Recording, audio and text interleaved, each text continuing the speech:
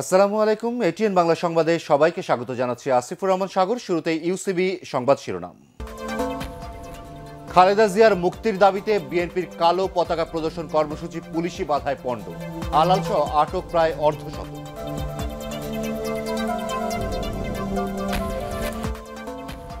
বিএনপির গণতান্ত্রিক আন্দোলনে পুলিশ বাধা দিচ্ছে না, জনদুর্ভোগ বাড়ালে আইন শৃঙ্খলা বাহিনী পদক্ষেপ নেয় বললেন স্বরাষ্ট্রমন্ত্রী।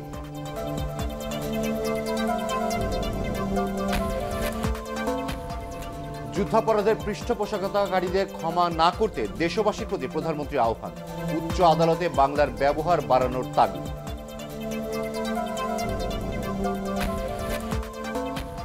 অংশগ্রহণমূলক নির্বাচনের জন্য নির্বাচন কমিশনের চেয়ে রাজনৈতিক দলগুলোর দায়িত্ব বেশি, অভিমত সুশীল সমাজে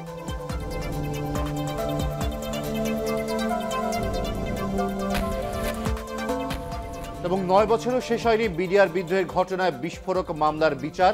হত্যা মামলায় খালাস পেলেও এখনও কারাবন্দি কয়েকশো আসামি।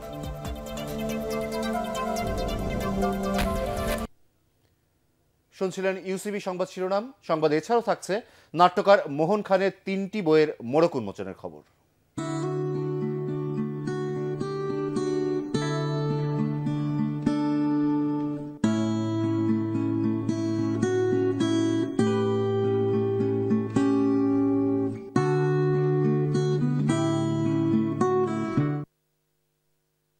এবারে বিস্তারিত। বিএনপি চেয়ারপারসন বেগম খালেদা জিয়ার মুক্তির দাবিতে দলটির কালো পতাকা প্রদর্শন কর্মসূচি পুলিশি বাধায় পণ্ড হয়ে গেছে। এ সময় নয়াপল্টনে দলের কেন্দ্রীয় কার্যালয়ের সামনে থেকে বিএনপির যুগ্ম মহাসচিব মোয়াজ্জম হোসেন আলাল সহ প্রায় অর্ধশত নেতাকর্মীকে আটক করা হয়। আহত হন বেশ কয়েকজন। শান্তিপূর্ণ ও অহিংস কর্মসূচিতে পুলিশ বিনা কারণে হামলা চালিয়েছে বলে অভিযোগ করেছেন বিএনপি মহাসচিব মির্জা ফখরুল ইসলাম আলমগীর। তবে পুলিশ বলছে কর্মসূচির অনুমতি ছিল না। রিপোর্ট করছেন মইনুল হাসান। কালো পতাকা হাতে নয়াপল্টনে দলের প্রধান কার্যালয়ের সামনে জড়ো হতে গেলে পুলিশি বাধার মুখে পড়তে হয় বিএনপি নেতাকর্মীদের।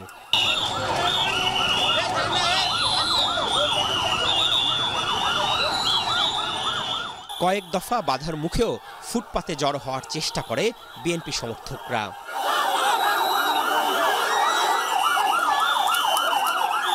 এক পর্যায়ে বিক্ষোভকারীদের ছত্রভঙ্গ করতে জলকামান ব্যবহার করে আইন শৃঙ্খলা বাহিনী।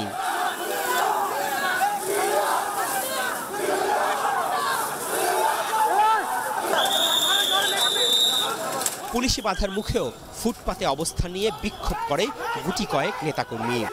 এক পর্যায়ে পুলিশ ধাওয়া দিলে বিক্ষোভকারীরা দলীয় কার্যালয়ে অবস্থান নেয়। এ সময় দশ নারী কর্মী এবং কেন্দ্রীয় নেতা মোয়াজ্জেম হোসেন আলাল ও মুস্তাফিজুর রহমান বাবুল সহ বেশ কয়েকজনকে আটক করে পুলিশ। কালো পতাকা প্রদর্শন। বলুন এটা কি সংঘাতপূর্ণ কর্মসূচি? সংঘর্ষমূলক কর্মসূচি। কালো পতাকা নিয়ে রাস্তা দখল করা শান্তিপূর্ণ কর্মসূচি হতে পারে না। এর অনুমতিই নাই তো শান্তিপূর্ণ কর্মসূচি হলো কীভাবে? সেটাই তো বেআইনি সমাবেশ হয়ে গেল। কর্মসূচি পণ্ড হয়ে যাওয়ায় তাৎক্ষণিক সংবাদ সম্মেলন থেকে এ ঘটনায় ক্ষোভ জানিয়ে বিএনপি মহাসচিব মির্জা ফখরুল ইসলাম আলমগীর বলেন বিনা উস্কানিতে নেতাকর্মীদের উপর হামলা চালানো হয়েছে। আইন শৃঙ্খলা বাহিনীর নির্যাতনে বিএনপির কেন্দ্রীয় নেতৃবৃন্দ সহ অসংখ্য মহিলা ও পুরুষ নেতাকর্মীরা গুরুতরভাবে আহত হয়েছেন। তাদের অনেকের অবস্থা অত্যন্ত আশঙ্কাজনক। আইন শৃঙ্খলা বাহিনী সম্পূর্ণ বিনা উস্কানিতে বিএনপির শান্তিপূর্ণ কর্মসূচিতে আক্রমণ চালিয়ে তারা আবার প্রমাণ করল যে দেশ এখন দুর্বিনীত, দুঃশাসনের করাল গ্রাসে। সব কর্মসূচি আমাদেরকে অনুমতি নিতে হবে কেন? আরে আমরা তো রাস্তা ব্লক করিনি ওয়ান ফর্টি ফোর ব্রেক করিনি। ফুটপাথে দাঁড়িয়ে আমি একটা প্রতিবাদ করতে পারব না কালো পতাকা দেখিয়ে। এটা মৌলিক ব্যাপার একটা। আওয়ামী লীগ বিরোধী দলের অস্তিত্বে বিশ্বাস করে না দাবি করে মির্জা ফখরুল বলেন সরকার পরিকল্পিতভাবে দেশকে সংঘাতের দিকে নিয়ে যেতে চায়। এই অবৈধ সরকার তাদের মন্ত্রীরা সারাক্ষণ চেষ্টা করছে উস্কানি দিয়ে পুরো পরিস্থিতিকে ঘোলাটে করবার জন্য। স্পষ্টভাবে বলতে চাই বিএনপি সম্পূর্ণভাবে শান্তিপূর্ণ কর্মসূচিতে বিশ্বাস করে। পরে আহতদের কয়েকটি অ্যাম্বুলেন্সে করে হাসপাতালে নেওয়া হয়। মইনুল আহসান, এটিএন বাংলা, ঢাকা। দলীয় চেয়ারপারসন বেগম খালেদা জিয়ার মুক্তির দাবিতে কালো পতাকা প্রদর্শন কর্মসূচিতে পুলিশি বাধার প্রতিবাদে সোমবার ঢাকাসহ সারা দেশে জেলা সদরে প্রতিবাদ কর্মসূচি পালন করবে বিএনপি। বিকালে নয় পল্টনে দলের কেন্দ্রীয় কার্যালয়ে সংবাদ সম্মেলনে বিএনপির সিনিয়র যুগ্ম মহাসচিব রুহুল কবির রিজভি এ কর্মসূচি ঘোষণা করেন। তিনি অভিযোগ করেন, শান্তিপূর্ণ কর্মসূচিতে পুলিশ হঠাৎ নেতাকর্মীদের উপর হামলা চালায়। এ সময় দুই শতাধিক নেতাকর্মী আহত হওয়া ছাড়াও দেড় শতাধিক নেতাকর্মীকে পুলিশ আটক করে বলে দাবি করেন রুহুল কবির রিজভি। এই গণতন্ত্র বিরাশী ভোটারবিহীন সরকার বিরোধী দলের হাত পা বেঁধে গণতন্ত্রকে বঙ্গোপসাগরে ডুবিয়ে দিতেই পুলিশকে দিয়ে পাণ্ডামি করাচ্ছে। বিএনপির শান্তিপূর্ণ কালো পতাকা প্রদর্শন কর্মসূচির উপর পুলিশের নাক্কারজনক হামলার প্রতিবাদে আগামী পরশুদিন সোমবার ঢাকা মহানগরের থানায় থানায় এবং সারা বাংলাদেশের জেলা সদরে, জেলা এবং মহানগরে প্রতিবাদ কর্মসূচি পালিত হবে। বিএনপির গণতান্ত্রিক কোনো আন্দোলনে পুলিশ বাধা দিচ্ছে না। তবে কেউ জনদুর্ভোগ বাড়ালে আইন শৃঙ্খলা বাহিনী প্রয়োজনে পদক্ষেপ নেয় বলে জানিয়েছেন স্বরাষ্ট্রমন্ত্রী আসাদুজ্জামান খান কামাল। দুপুরে কুমিল্লার বরুড়ায় আইন শৃঙ্খলা সমন্বয় কমিটি সভা শেষে রাজধানীতে বিএনপির কালো পতাকা প্রদর্শন কর্মসূচিতে পুলিশের বাধা দেওয়া প্রসঙ্গে তিনি এসব কথা বলেন। ঢাকায় জনদুর্ভোগ থেকে ওই এলাকা রক্ষা করার প্রয়োজন ছিল বলেও দাবি করেন স্বরাষ্ট্রমন্ত্রী। কেউ যদি মাত্রাতিরিক্ত করে জনগণের দুর্ভোগ বাড়িয়ে দেয়, জনগণ মানে রাস্তাঘাট বন্ধ করে দেয়, তখনই আমাদের আইন শৃঙ্খলা বাহিনী যে কাজটি করার দরকার সেই কাজটি করে থাকেন। আজকে যে ঘটনাটি ঘটেছে, জনগণের দুর্ভোগ থেকে ওই এলা- এলাকাকে রক্ষা করার জন্য সেটা প্রয়োজন ছিল বলেই করেছেন। যুদ্ধাপরাধের পৃষ্ঠপোষকতাকারীদের ক্ষমা না করতে দেশবাসীর প্রতি আহ্বান জানিয়েছেন প্রধানমন্ত্রী শেখ হাসিনা।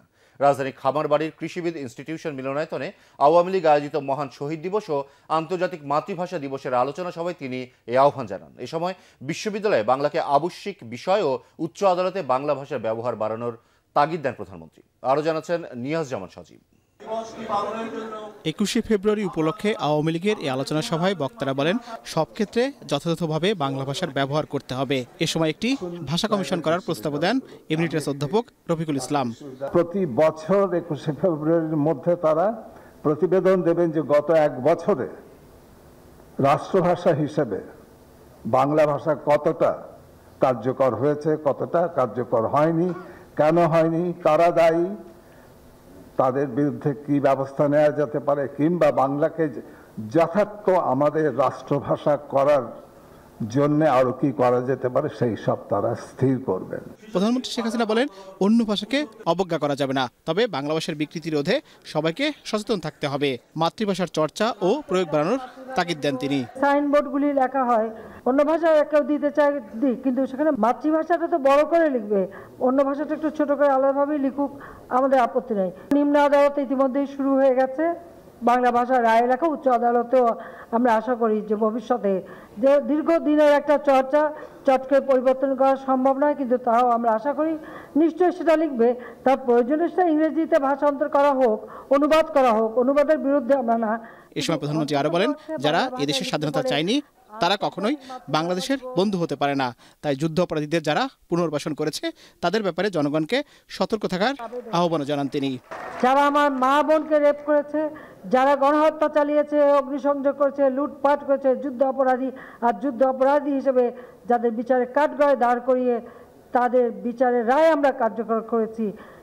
যারা এদেরকে মর্যাদা দিয়েছিল, যারা এদের হাতে পতাকা তুলেছিল তাদের ব্যাপারে জাতিকে সচেতন থাকতে হবে। তাদেরকে কিন্তু জাতি কোনোদিন ক্ষমা করতে পারে না। ক্ষমা করবেন না। জাতির কাছে আজকের দিনে আমার এটাই আবেদন থাকল। এ সময় দেশবিরোধী ষড়যন্ত্র মোকাবেলায় সবাইকে ঐক্যবদ্ধ থাকার কথা বলেন প্রধানমন্ত্রী। নিয়াজ জামান সজীব এটিএন বাংলা ঢাকা। জাতীয় পার্টি আগামী নির্বাচনে আওয়ামী লীগ ও বিএনপির বিকল্প হবে বলে দাবি করেছেন দলটির চেয়ারম্যান হুসেন মোহাম্মদ এরশাদ। তিনি জানান, তিনশো আসনে প্রার্থী দিয়ে ক্ষমতায় যেতেও জাপা প্রস্তুত। জাপা চেয়ারম্যানের বনানী কার্যালয়ে সাবেক মন্ত্রী কোরবান আলীর ছেলে তারেক আলীর জাতীয় পার্টিতে যোগদান অনুষ্ঠানে তিনি এসব কথা বলেন। এ সময় জাতীয় পেশাজীবী সমাজ নামে দলের একটি নতুন সহযোগী সংগঠনের কার্যক্রম উদ্বোধন করেন তিনি। নিজে কখনো স্বৈরাচার ছিলেন না বলেও দাবি করেন হুসেন মোহাম্মদ এরশাদ। হিংসা রাজনীতি, প্রতিহিংসা রাজনীতি। আমরা এতে বিশ্বাস করি না। জ্বালাপড়ে বিশ্বাস করি না। তিন মাস দেশ অবরোধ ছিল। কত মানুষ মারা গেছে, কত বাস জ্বলেছে, কত মানুষ জ্ব- জ্বলেছে, কত সন্তান মৃত্যুর মুখে পতিত হয়েছে, সবাই তোমরা জানো। আমরা তাদের বিশ্বাস করি না। আর মানুষ মনেকে বিশ্বাস করি না, মানুষের ভালোবাসায় বিশ্বাস করি। ভালোবাসা যদি অর্জন করা যায়, ক্ষমতা থাকা যায়। হিংসা দিয়ে ক্ষমতা থাকা যায় না। অংশগ্রহণমূলক সুষ্ঠু নির্বাচন নিশ্চিত করতে নির্বাচন কমিশনের ভূমিকার চেয়ে রাজনৈতিক দলগুলোর দায়িত্বশীলতাকেই বড় বলে মনে করেন সুশীল সমাজের প্রতিনিধিরা। জাতীয় প্রেস ক্লাবে আয়োজিত গোলটেবিল বৈঠকে তাঁরা বলেন, দেশের গণতান্ত্রিক কাঠামোকে শক্তিশালী করতে রাজনৈতিক দলের ভেতরে গণতন্ত্রের সঠিক চর্চা জরুরি। একরামুল হক, সাইমের রিপোর্ট। অংশগ্রহণমূলক নির্বাচন ও দেশের গণতন্ত্র বিষয়ে এই গোলটেবিলে অংশ নেন নাগরিক সমাজের বিভিন্ন পর্যায়ের নেতারা। আগামী জাতীয় নির্বাচনে নানা চ্যালেঞ্জ তুলে ধরে তারা বলেন, গণতন্ত্র সুসংহত না হলে বেড়ে যায় দুর্নীতি আর দুর্বৃত্তায়নের সুযোগ। জবাবদিহির সরকারি ব্যবস্থা থাকে, জনগণের কাছে জবাবদিহির, তো জনগণের স্বার্থ রক্ষা হবেই। আমরা সিস্টেম চাচ্ছি চেকস অ্যান্ড ব্যালেন্স চাচ্ছি, বিচার বিভাগের স্বাধীনতা চাচ্ছি কিন্তু it must all begin with the accountability গণতন্ত্র আনার পক্ষে সবচেয়ে বড় বাধা ভারত। সবাই জানি আজকে ভারতীয় কীরকমভাবে আমাদের প্রতিটি জীবনযাত্রা নিয়ন্ত্রণ করে ব্যবসায়ী যেমন আলাপ আলোচনা করে রাজনীতির মধ্যে আলাপ আলোচনার মধ্যে এখানে সবটা করতে হবে। কিন্তু এখানে আলাপ আলোচনার কোনো স্কোপই যদি না থাকে এই গণতন্ত্র বা সুশাসন কিন্তু অ্যাচিভ করা যাবে না। বক্তারা বলেন একদিকে রাজনীতিতে গণতান্ত্রিক চেতনার বিকাশ না হওয়া অন্যদিকে পেশাজীবী ও বুদ্ধিজীবীদের দলীয় লেজুরবৃত্তি সংকটকে বাড়িয়ে তুলছে। এজন্য নাগরিক সমাজের দল নিরপেক্ষ প্ল্যাটফর্ম গড়ারও তাগিদ দেন তারা। বাংলাদেশের গণতন্ত্রের দুর্বলতার প্রধান কারণ হলো আমাদের দেশের নাগরিক সমাজের দুর্বলতা। রাজনৈতিক দলের ভিতরে যে আভ্যন্তরিক গণতন্ত্রের যে অভাব, যারা নিজেরা দলের ভিতরে গণতন্ত্র করতে পারে না, তারা দেশে কি গণতন্ত্র করবে? ওই চাপ সৃষ্টি করার তো আমরা করতে পারছি না। আমরা ইমিডিয়েটলি একটা দলের পক্ষ নিয়ে কিছু একটা পাওয়ার আশায় সেই দলের গুণগান করতে থাকি। নাগরিক সমাজ তখনই করবে যখন বিকল্পটা অসাধারণভাবে আকর্ষণীয় হবে। শুধুমাত্র নির্বাচন দ্বারাই যদি গণতন্ত্র প্রতিষ্ঠিত হতো একানব্বই সুন্দর গণতন্ত্রের নির্বাচন হয়েছিল, আমাদের আবার পিছন দিকে কেন তাকাতে হচ্ছে? আমরা তো সেই রকম কাঠামো এবং ইনস্টিটিউশন ডেভেলপ করতে পারি নাই। নাগরিক সংগঠন ঢাকা ফোরাম আয়োজিত গোলটেবিল বৈঠকে বিএনপি নেতারাও বক্তব্য রাখেন। ইকরামুল হক, সায়েম, এটিএন বাংলা, ঢাকা। নয় বছরেও শেষ হয়নি বহুল আলোচিত পিলখানায় বিডিআর বিদ্রোহের ঘটনায় দায়ের করা বিস্ফোরক মামলার বিচার। ফলে একই ঘটনায় দায়ের করা হত্যা মামলায় খালাস পেলেও মুক্তি পাচ্ছেন না কয়েকশো আসামি। মামলার ধীরগতির জন্য পরস্পরকে দুষছেন রাষ্ট্র ও আসামি পক্ষ। এদিকে হত্যা মামলায় হাইকোর্টের রায়ের বিরুদ্ধে আপিল করার জন্য পূর্ণাঙ্গ রায়ের অপেক্ষায় উভয় পক্ষ। হুমায়ুন চিস্তি জানাচ্ছেন বিস্তারিত। পিলখানায় বিডিআর বিদ্রোহের ঘটনায় দুই হাজার নয় সালে সাড়ে আটশো জনকে আসামি করে হত্যা ও বিস্ফোরক আইনে দুটি মামলা করা হয়। দুটো মামলাতে একই সাথে চার্জশিট দেয় পুলিশ। হত্যা মামলায় বিচারিক আদালতের পর হাইকোর্টে বিচার কাজ শেষ হলেও বিস্ফোরক আইনে দায়ের করা মামলাটি এখনও প্রাথমিক পর্যায়ে রয়ে গেছে। পাঁচ শতাধিক সাক্ষীর মধ্যে এখন পর্যন্ত সাক্ষ্য নেওয়া হয়েছে মাত্র পঞ্চাশ জনের। ছয়শো সাক্ষী না হলে তার কিছু কম হতে পারে।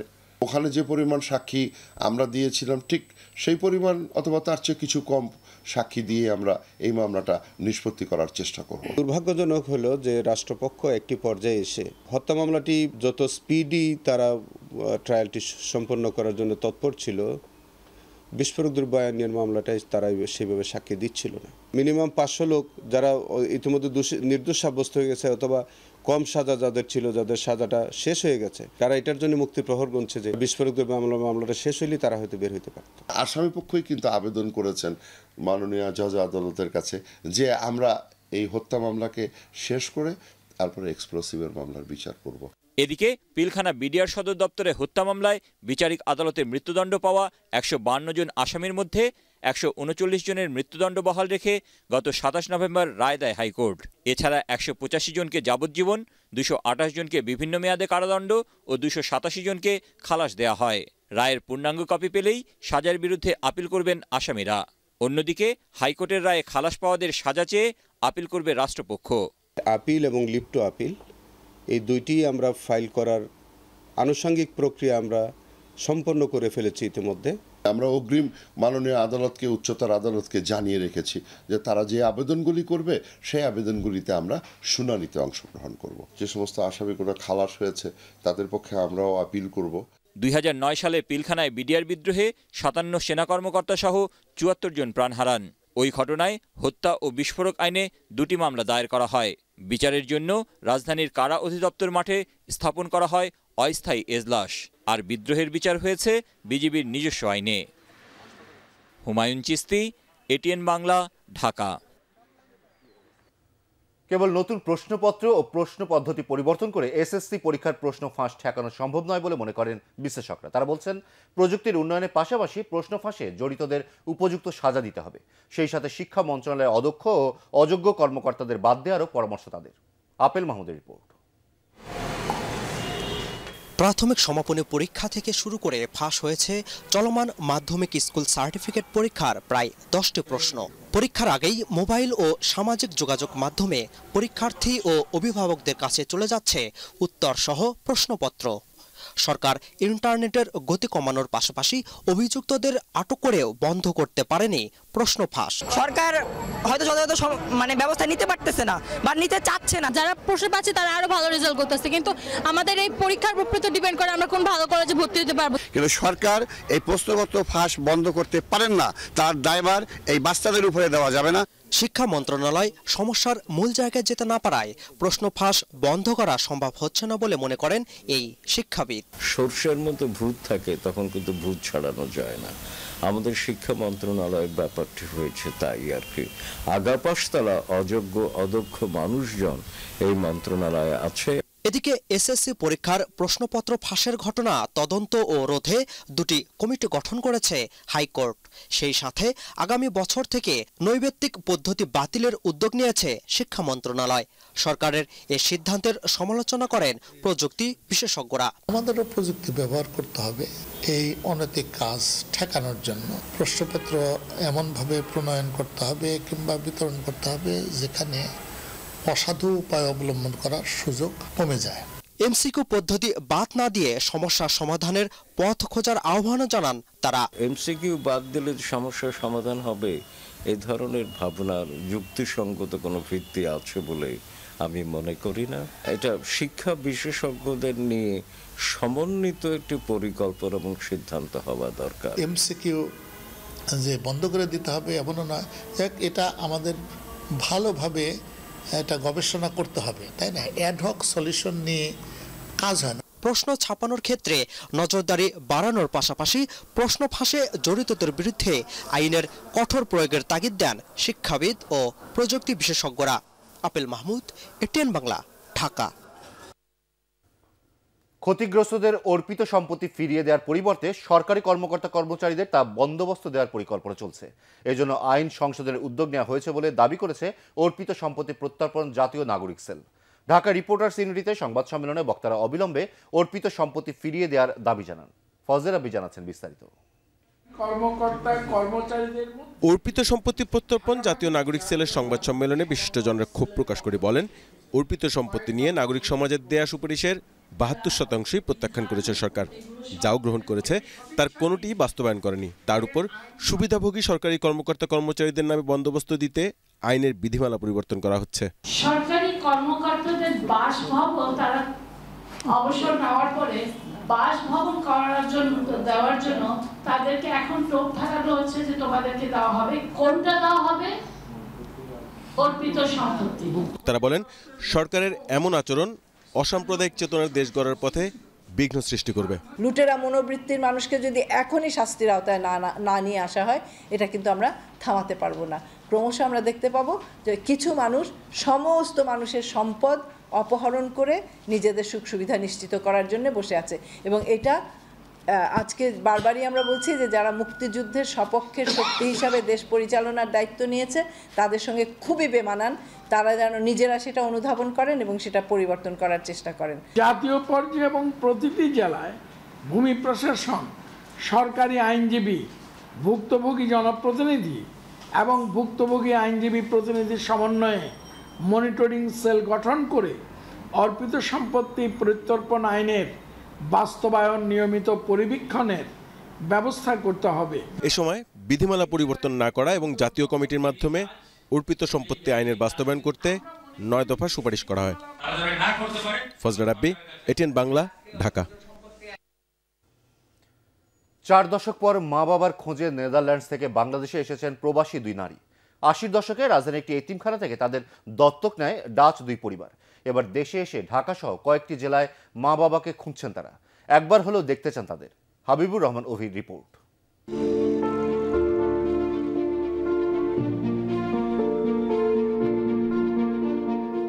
রিয়া নোয়েল্লো ও ফরিদা কুসুম, একজনের বাড়ি চট্টগ্রাম, অন্যজনের ময়মনসিংহ। ছোটবেলার কথা কিছুই মনে করতে পারছেন না তারা। দেশ ছাড়ার সময় একজনের বয়স দেড় বছর আরেকজনের মাত্র তিন মাস। তারা জানান আশির দশকে তাদের দত্তক নেয় নেদারল্যান্ডের দুই পরিবার। দীর্ঘ চল্লিশ বছর পর দেশে এসে খুঁজছেন আপনজনদের। Maybe the possibility to find some family, maybe uh, a mother, a or other family like nephews, nieces. Um, of course, that's why I came to Bangladesh. I don't have much information, but with the information I have, I hope to find some family. নেদারল্যান্ডে গিয়ে সবই পেয়েছেন তারা পড়াশোনা শেষ করে চাকরি করছেন নামী প্রতিষ্ঠানে পেয়েছেন ডাচ পরিবারের ভালোবাসাও তবে শেকড়ের টানেই দেশে এসেছেন তারা বাবা মার নাম পর্যন্ত জানা নেই বেঁচে আছেন কি নেই তাও অজানা তবুও অবিরাম খুঁজে চলা If I will find my parents or someone of the family, it gives me more fulfilled feeling. It makes me more complete. I don't know the name of my parents, unfortunately. I will be very happy uh, to finally see uh, my parents. স্বজনদের খুঁজে পেতে তাদের সহযোগিতা করছে কয়েকটি সংগঠন নেদারল্যান্ডসেই almost five hundred পাঁচশোর মতো অ্যাডপ্টেড চাইল্ড আমি যদি সমাজ কল্যাণ অধিদপ্তর থেকে এই সুবিধাটা পেতাম পাসপোর্ট অফিসে আমার যদি ডাটা ব্যাংকে অ্যাক্সেসটা থাকতো, তাহলে হয়তো মানে আরও একটু ভালো করে আমরা সার্চিংটা করতে পারতাম। মুক্তিযুদ্ধের পর, বাংলাদেশ থেকে তাদের মতো অনেক শিশুকে দত্তক নেওয়া হয়েছে বিভিন্ন দেশে। অনেক দিন পেরিয়ে গেলেও, আপনজনদের ফিরে পেতে সরকারের সহযোগিতা চান রিয়া নোয়েল্লো ও ফরিদা কুসুম। হাবিবুর রহমান অভি এটিএন বাংলা, ঢাকা। তথ্য প্রযুক্তির বিকাশে বাংলাদেশ ডিজিটাল শিল্পের নেতৃত্ব দিচ্ছে বলে মন্তব্য করেছেন ডাক, টেলিযোগাযোগ ও তথ্য প্রযুক্তি মন্ত্রী মোস্তাফা জাব্বার। রাজধানীর কারওয়ান বাজারে এটিএন বাংলার স্টুডিওতে নাট্যকার ও পরিচালক মোহন খানের তিনটি বইয়ের মোড়ক উন্মোচন অনুষ্ঠানে তিনি এ মন্তব্য করেন। এ সময় এটিএন বাংলার চেয়ারম্যান ডক্টর মাহফুজ রহমান গণমাধ্যমের উন্নয়নে সরকারের অব্যাহত সহযোগিতা চান। আরও জানাচ্ছেন শফিউল আলম সুজন। সমাজ জীবনে নানা গল্প উপন্যাসকে অবলম্বন করে দর্শকদের মন মাতানো অনুষ্ঠান উপহার দেয় জনপ্রিয় নাট্যকার ও পরিচালক মোহন খান। তবে এবার নিজের লেখা তিনটি বইয়ের মাধ্যমে জীবন ও সমাজের নানা চিত্র তুলে ধরেছেন তিনি। অসম্ভব স্বপ্ন না দেখতে পারলে এরকম কোনো কাজ হয় না। আমি যুক্ত হয়েছি ওনার সাথে। এটিএন বাংলার প্রথম থেকে আমার প্রতিটি ব্যাপারে উনি আমাকে উৎসাহ দেন। তার চেয়ে বড় কথা, ডক্টর মাহফুজুর রহমান কখনো আমাকে না বলে কোনো শব্দ করেননি। এ সময় আলোকিত সমাজ গঠনে বই পড়ার অভ্যাস গড়ে তোলার আহ্বান জানান বক্তারা। আজকাল নাটকে অনেক সংকট। মোহন ভাইয়ের কাছে একটাই অনুরোধ উনি আমাদেরকে ভালো স্ক্রিপ্ট দিবেন আরও ভালো ভালো উপন্যাস লিখবেন। মোহন খানের আজকের বই তিনটি এবং আরও পরবর্তীকালে বই লিখবেন উনি সেই আশা ব্যক্ত করছি। যে প্ল্যাটফর্মটা তৈরি হয়েছে আমরা দুইটা বই তৈরি করছি আমরা একটা ভালো কাজ করছি। এই সব কাজগুলোকে যিনি উৎসাহ প্রদান করেন তিনি হচ্ছে আমাদের সম্মানিত চেয়ারম্যান ডক্টর মাহফুজুর রহমান। বই তিনটিকে ভালোবেসেছি। কেন ভালোবেসেছি? ভালোবেসেছি এই জন্য যে উনি ভালোবাসার কথা সেখানে বলেছেন। অনুষ্ঠানে এটিএন বাংলার চেয়ারম্যান ডক্টর মাহফুজুর রহমান সৃজনশীল সাহিত্যকর্মে এটিএন বাংলার সব ধরনের সহযোগিতা অব্যাহত রাখার কথা তুলে ধরেন আর তথ্য প্রযুক্তির উন্নয়নে সঠিক দিক নির্দেশনার তাগিদ দেন তিনি। স্যাটেলাইট তৈরি হয়েছে সব কিছু হয়েছে এখন বাধ্য। কোনো উপায় নেই। সেই চিন্তাটা বহুত আগে যখন চিন্তা করা হয়েছে বাংলাদেশের স্যাটেলাইট ছাড়া হবে তখন থেকে এই চিন্তাটা করা হয়েছিল। তো যাই হোক সময় এখনও আছে। ভবিষ্যতে যদি আগামীতে ওনার হাত ধরে যদি আরেকটা স্যাটেলাইট বাংলাদেশ ছাড়ে তখন হয়তো উনি এটা চিন্তা করে ঠিকই করবেন আমাদের জন্য এই উপকারটা। এ সময় জঙ্গিবাদ রোধে সাহিত্য ও সংস্কৃতির প্রসারে সবাইকে একযোগে কাজ করার আহ্বান জানান ডাক টেলিযোগাযোগ ও তথ্য প্রযুক্তি মন্ত্রী মোস্তফা জব্বার। কলম চলতে না দেখি তাহলে বাঙালি এক সময়ে হয়তো শ্রেষ্ঠ দেশে পরিণত হবে কিন্তু তার শেকড়টা থাকবে না। আমাদের সাহিত্য সংস্কৃতি ভাষা এটি আমাদের শেকড়। আমাদের এই শেকড়কে রক্ষা করাটা আমাদের সকলের জন্য একসাথে লড়াই করার জিনিস। আসুন আমরা সবাই মিলে ওই শেকড়টাকে রক্ষা করি। সৃজনশীল সাহিত্যের উন্নয়নে তথ্য প্রযুক্তির ব্যবহার বাড়ানোর উপর গুরুত্ব আরোপ করেন বক্তারা শফিল আলম সুজন এটিএন বাংলা ঢাকা। এবার রূপালী ব্যাংক সংবাদ বিরতি আর বিরতির পর থাকছে গাইবান্ধা এক আসনের উপনির্বাচনে প্রার্থীদের মধ্যে প্রতীক বরাদ্দ। নৌকার প্রার্থী আফরুজা বাড়ি লাঙ্গল পেলেন ব্যারিসের শামীম হায়দার পাটোয়ারি। এবং আফগানিস্তানে কয়েক দফা বোমা হামলায় বিশ সেনা সদস্য সহ নিহত অন্তত তেইশ জন।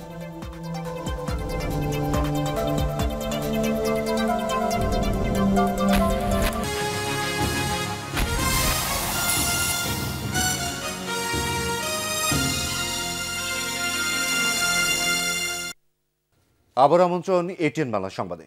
গাইবান্ধা এক আসনের উপনির্বাচনে প্রার্থীদের মধ্যে প্রতীক বরাদ্দ দেওয়া হয়েছে। গাইবান্ধা সার্ভার স্টেশন মিলনায়তনে প্রার্থীদের মধ্যে প্রতীক বরাদ্দ করেন আঞ্চলিক নির্বাচন কর্মকর্তা সাহাতাবুদ্দিন।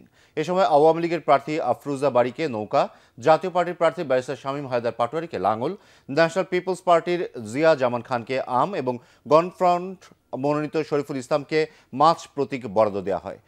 সড়ক দুর্ঘটনায় আওয়ামী লীগ সংসদ সদস্য গোলাম মোস্তফা আহমেদের মৃত্যুতে আসনটি শূন্য হয়। আগামী তেরোই মার্চ অনুষ্ঠিত হবে এই আসনের উপনির্বাচন। এতে মোট ভোটার তিন লাখ আটত্রিশ হাজার পাঁচশো ছাপ্পান্ন জন। মানবতার অনন্য দৃষ্টান্ত স্থাপন করেছেন মাদারীপুরের চার যুবক। রাস্তায় ঘুরে বেড়ানো মানসিক ভারসাম্যহীন এক নারীর সন্তানের জন্মদান নির্বিঘ্নে করার মাধ্যমে মানবতার জয়গান গিয়েছেন তারা। গত বিশে ফেব্রুয়ারি জেলার শিবচর বালুরমাটি এলাকায় আড্ডা দেওয়ার সময় এক নারীর চিৎকার শুনে এগিয়ে যায় অমি সাগর, ইব্রাহিম ও আজিজ নামের চার যুবক। পথের ধারেই কন্যা শিশু জন্ম দিয়ে প্রচণ্ড ব্যথায় কাতরাতে দেখে ওই নারীকে স্থানীয়দের সহায়তায় হাসপাতালে নিয়ে যান তারা। সেখানে সঠিক চিকিৎসা পেয়ে আশঙ্কামুক্ত হয় মা ও নবজাতক শিশু। এই ঘটনা নিয়ে সামাজিক যোগাযোগ মাধ্যম ফেসবুকে পোস্ট দিলে মুহূর্তেই তা ছড়িয়ে পড়ে। প্রশংসায় ভাসেন ওই চার বন্ধু। পিতৃ পরিচয়হীন শিশুটির দায়িত্ব নেওয়ার জন্য সরকারের প্রতি আহ্বান জানিয়েছেন স্থানীয়রা। যশোরে এক বৃদ্ধাকে নৃশংস নির্যাতনের দায়ে তার পুত্রবধূকে গ্রেপ্তার করা হয়েছে। আশঙ্কাজনক অবস্থায় ওই বৃদ্ধাকে যশোর সদর হাসপাতালে ভর্তি করা হয়েছে। যশোর সদর উপজেলার সাত মাইল এলাকার বাড়িনগরে এই ঘটনা ঘটে। নির্যাতিতা সত্তর বছরের বৃদ্ধা শিবু বালা জানান, তার ছয় ছেলে ও এক মেয়ের সবাই বিবাহিত। এর মধ্যে তিন ছেলে গৌতম নন্দীর কাছে থাকতেন। কিন্তু স্বামীর সব সম্পত্তি তার নামে থাকায় সেই সম্পত্তির লোভে তার উপর নির্যাতন চালাতেন ছেলের বউ ক্ষমানন্দী ও নাতি অনিক নন্দী। বৃহস্পতিবার রাতে শিবুবালাকে গলা টিপে ও পুড়িয়ে মারার চেষ্টা করেন ক্ষমা ও অনিক। পরদিন সকালে স্থানীয়দের কাছে খবর পেয়ে পুলিশ ওই বৃদ্ধাকে উদ্ধার করে হাসপাতালে ভর্তি করে। একই সাথে গ্রেপ্তার করা হয় অভিযুক্ত ক্ষমা নন্দীকে। এই ঘটনায় ওই বৃদ্ধার ছেলে গৌতম নন্দী বাদী হয়ে তার স্ত্রী ও ছেলেকে আসামি করে মামলা করেছেন। শিশুদের ক্যান্সার রোগ নির্ণয় ও চিকিৎসার অগ্রগতিতে তরুণ চিকিৎসকদের এগিয়ে আসার আহ্বান জানিয়েছেন বঙ্গবন্ধু শেখ মুজিব মেডিকেল বিশ্ববিদ্যালয়ের উপাচার্য অধ্যাপক কামরুল হাসান খান। বিশ্ববিদ্যালয়ের মিলন হলে শিশু ক্যান্সার ও রক্তরোগ নিয়ে আয়োজিত এক সেমিনারে কথা জানান তিনি। অধিভুক্ত বিয়াল্লিশটি মেডিকেল কলেজের চিকিৎসা সেবার গুণগত মান উন্নয়নে বিশ্ববিদ্যালয় কাজ করছে বলেও জানান কামরুল হাসান খান।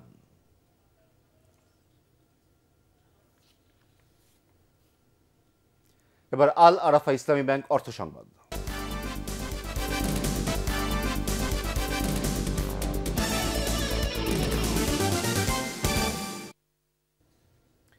উদ্যোক্তা হিসেবে সফল হতে হলে কঠোর পরিশ্রমের বিকল্প নেই বলে মনে করেন আনোয়ার গ্রুপ অফ ইন্ডাস্ট্রিজের প্রতিষ্ঠাতা চেয়ারম্যান আনোয়ার হোসেন। রাজধানীতে ড্যাফোডিল ইন্টারন্যাশনাল ইউনিভার্সিটি আয়োজিত উদ্যোক্তা উন্নয়ন বিষয়ক ডিআইইউ ইন্ডাস্ট্রি একাডেমিয়া বক্তৃতামালায় তিনি এ মন্তব্য করেন। বিশ্ববিদ্যালয় ট্রাস্টি বোর্ডের চেয়ারম্যান সবুর খান, উপাচার্য অধ্যাপক Yusuf M Islam, career development সেন্টারের পরিচালক আবু তাহের খান, পিএইচপি গ্রুপের চেয়ারম্যান সুফি মিজানুর রহমান অন্যান্যের মধ্যে উপস্থিত ছিলেন।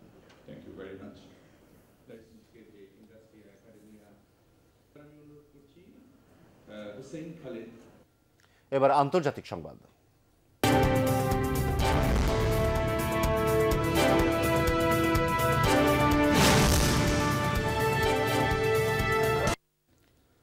আফগানিস্তানের রাজধানী কাবুল সহ বিভিন্ন স্থানে কয়েক দফা বোমা হামলায় বিশ সেনা সদস্য সহ অন্তত তেইশ জন নিহত হয়েছে, আহত হয় অনেকে।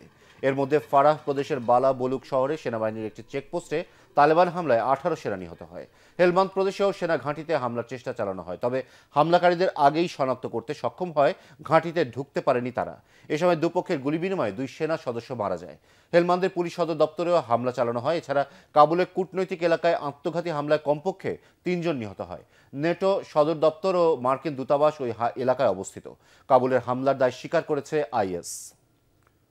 আবারও রূপালী ব্যাংক সংবাদ বিরতি বিরতির পর থাকছে কোচ নয়, বোলিং ব্যর্থতার দায় পুরোপুরি নিজেদের তাসকিন আহমেদের স্বীকারোক্তি।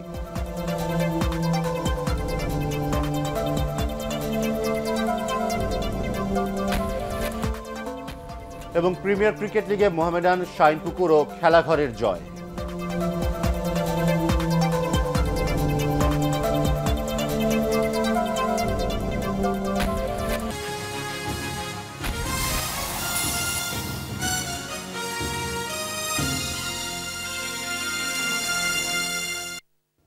দেখছেন এটিএন বাংলা সংবাদ। আগামী ছাব্বিশে ফেব্রুয়ারি থেকে বারোই মার্চ পর্যন্ত গাজীপুরের রাজেন্দ্রপুর সেনানিবাসে অনুষ্ঠিত হবে বহুজাতিক অনুশীলন শান্তিদূত চার। Bangladesh institute of peace support operation ট্রেনিংয়ের এই অনুশীলনে যোগ দেবেন বাইশ দেশের এক হাজার তিনশো উনিশ জন শান্তিরক্ষী। ঢাকা সেনানিবাসে সংবাদ সম্মেলনে আইএসপিআর জানায়, গ্লোবাল পিস অপারেশনস ইনিশিয়েটিভের আওতায় যৌথভাবে এই অনুশীলনের আয়োজন করেছে বাংলাদেশ সেনাবাহিনী ও ইউএস প্যাসিফিক কমান্ড।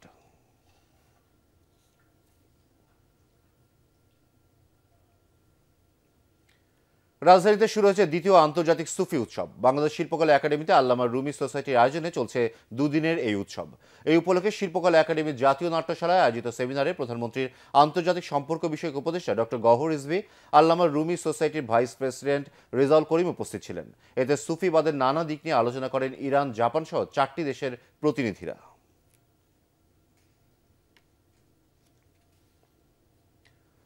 লেখাপড়ার পাশাপাশি সমাজ উন্নয়নে অবদান রাখতে শিক্ষার্থীদের প্রতি আহ্বান জানিয়েছেন বিশিষ্ট জনেরা রাজধানীর বাড়িধারায় university of information technology and sciences UITS এর বসন্তকালীন নবীনবরণ অনুষ্ঠানে তারা এই আহ্বান জানান।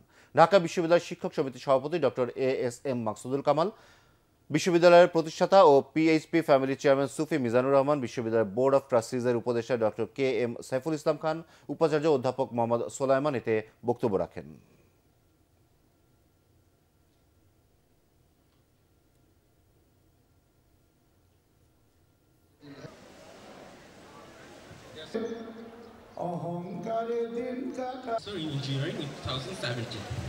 সত্যিকার ভাবে যদি তোমরা জীবনে বড় হতে চাও তোমার স্বপ্ন তৈরি করো।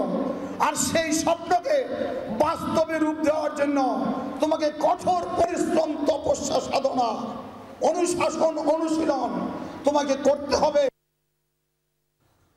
রাজধানী সমিতি ঢাকার উদ্যোগে রাজধানীতে অনুষ্ঠিত হল ঐতিহ্যবাহী বার্ষিক মেজবান সাংস্কৃতিক অনুষ্ঠান ও মিলন মেলা দু হাজার আঠারো। জাতীয় সংসদে পার্লামেন্ট মেম্বার্স ক্লাবের এলডি হলে আয়োজিত এই অনুষ্ঠানে রাজনৈতিক, আমলা, ব্যবসায়ী ও সাংস্কৃতিক ব্যক্তিত্ব সহ বিশিষ্টজনরা যোগ দেন। সমিতির সভাপতি সামিনা ইসলাম, সাধারণ সম্পাদক জমিরুল হক চৌধুরী পিন্টু এতে অন্যান্যের মধ্যে উপস্থিত ছিলেন।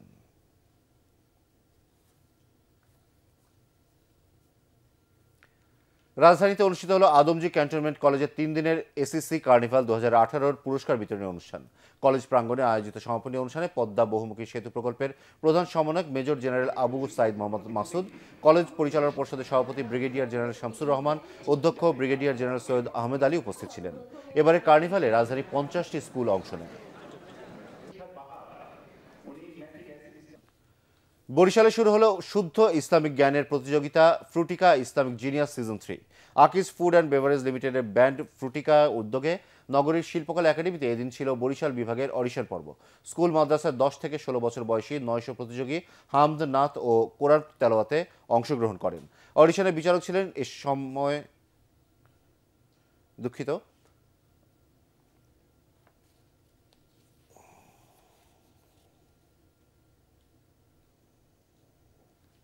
Additional vice president Mostafizur Rahman, Dhaka বিশ্ববিদ্যালয়ের সহযোগী অধ্যাপক ডক্টর ওমর ফারুক ও মাওলানা আমিনুল ইসলাম আরিফি। অনুষ্ঠানটি মিডিয়া পার্টনার এটিএন বাংলা। এবার পার্টেক্স খেলার খবর।